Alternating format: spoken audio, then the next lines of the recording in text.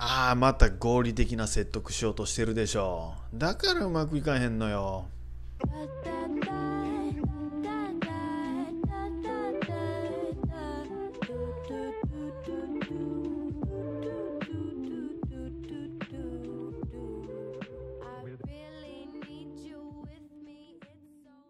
はいどうも皆さんこんにちは。脳科学教育コンサルタントのクロスです。今回お話をする内容は人を動かす時に使われるいろんなあまあその方法がありますよね。言葉がけだったり例えばあなたがもしマネージャー職であれば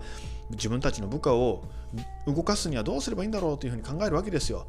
まあ、人によってちょっとコンサル型の動かし方をしたりきつい命令をして動かそうとしたり逆にちょっと目標を共有してそしてインスピレーションのような感覚でこう訴えたりあるいは合理的にデータとかあるいはそのリリズムで説明したりいろんな方法がありますよね。それって少なくとも9種類の方法に分けられますでその9種類をそれぞれ比較して人が最も動く反発が少なかった、え、あるいはコミットメントが高かったそういったことをこうまとめたデータがを発表した論文っていうのが実はもう発表されてるんですよ。出てると。で、え、そこからどんなことが分かってるのかっていうことについて今日はお話をしたいというふうに思います。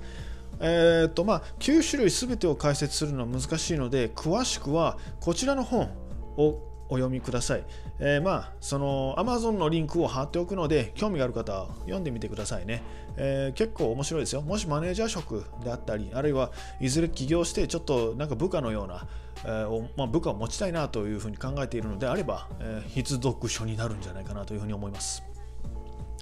えー、じゃあまず今回その9種類のうちの2つだけをちょっと取り上げてその2つを比較しようというふうに思います。まず1つは合理的な説得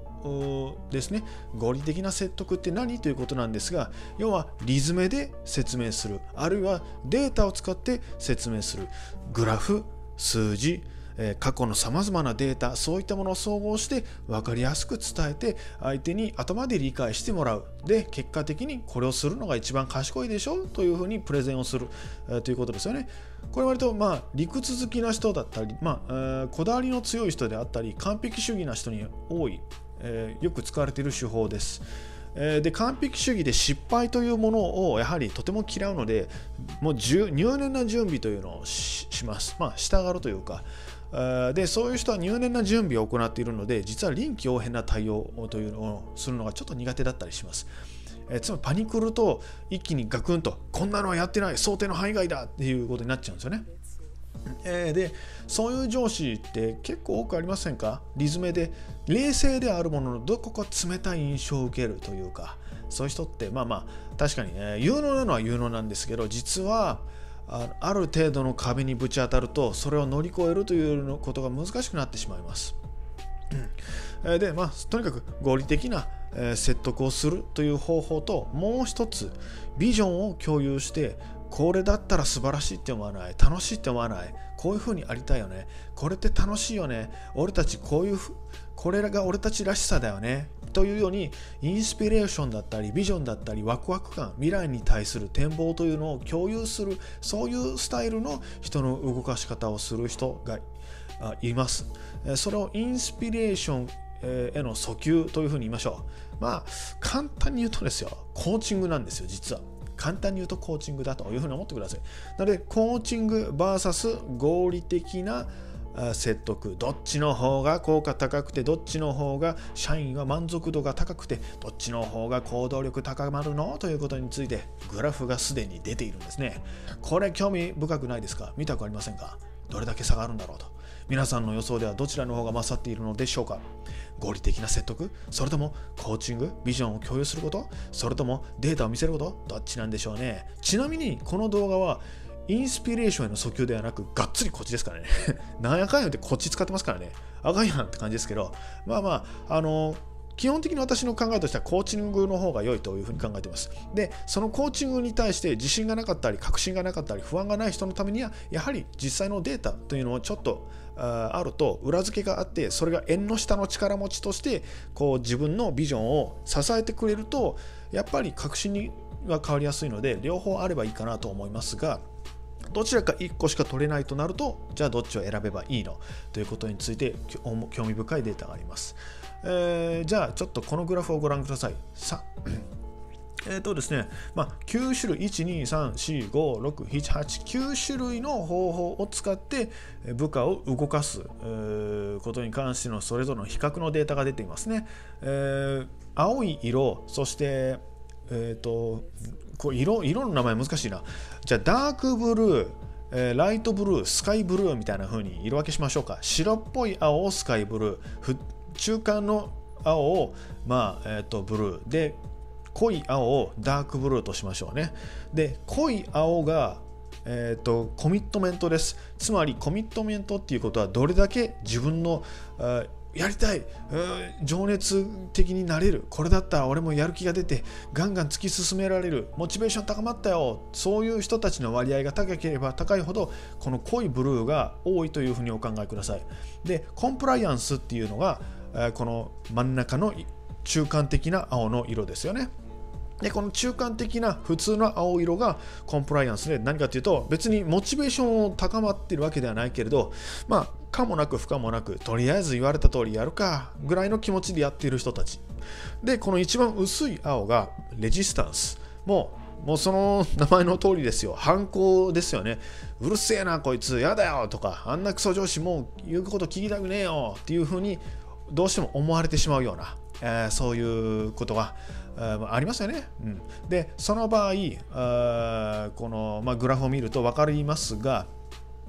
えーと、下から4番目に Rational Persuasion っていうのありますよね。えっ、ー、と、Rational Persuasion 分かります？矢印打っときますね。ピッピッピッってなってますよね。で、濃いブルーが23その次に中間が30で最後薄い色が47とありますよね。およそ50%の人が反抗してやってるんですよね。うるせえって。お前のそんなリズムで人なんか動かねえよっていうふうに思っている人がいる一方で、えー、30人はあもう分かった分かったやりますよと。そして23人がモチベーションが溜まったと。おおそんなデータが出てるんだ。よっしゃやる気出たっていうふうに考える人がいるっていうわけですよね。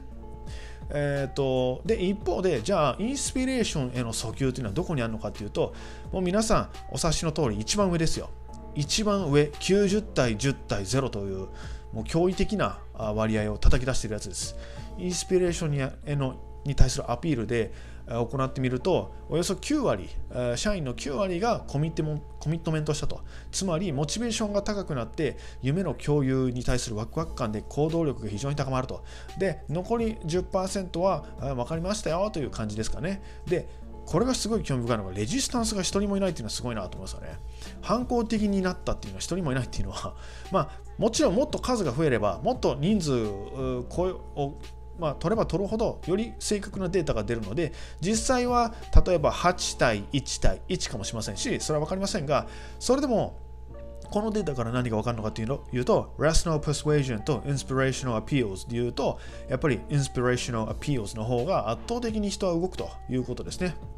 うん、なるほどなということですよね。他にもあそれぞれどんな方法を使って人を動かしているのかっていうのが興味ある場合はやっぱり本をまあ買ってください。で、私のリンクから買ってくれたら、そのリンクから購入したということで、私に一部、えー、アフィリエイト収入が入ります。で、そのアフィリエイト収入がこのチャンネルの運営費として使われるので、えー、また私のその応援、私に対しても応援という意味でも、もし買っていただけたら非常にありがたいです。私もそれが、やった入ったぞ嬉しいっていう風になるんでね、ぜひとも やってくれたら嬉しいなと思います。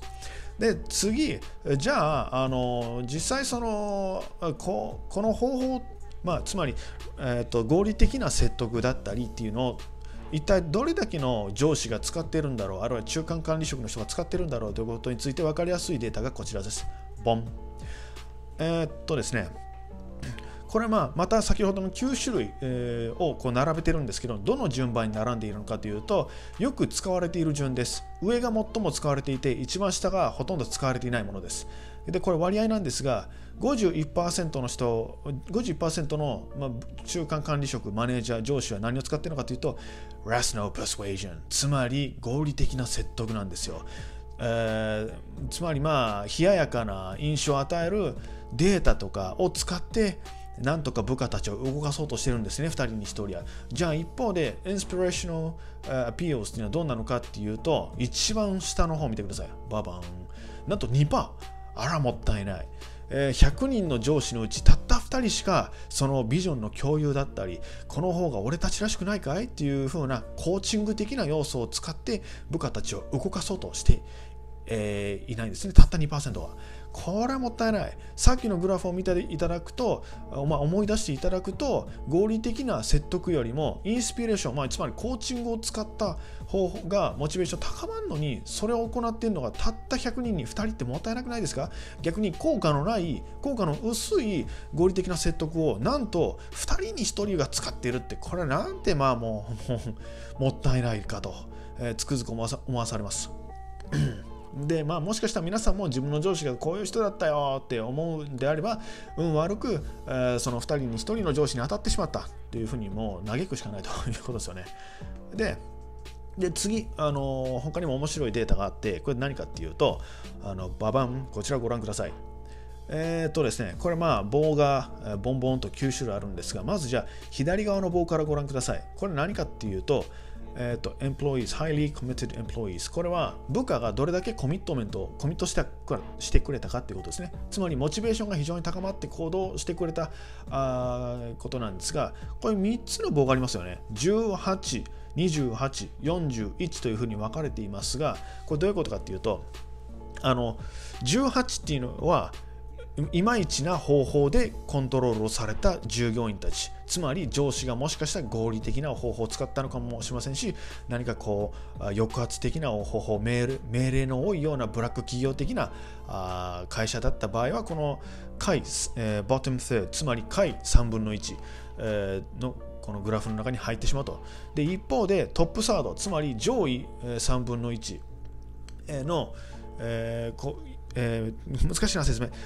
モチベーションの高まった上位3分の1っていうのはとても風通しのいい抑圧的ではないコーチング的な文化を持った企業で勤めている従業員たちっていうことですね。であの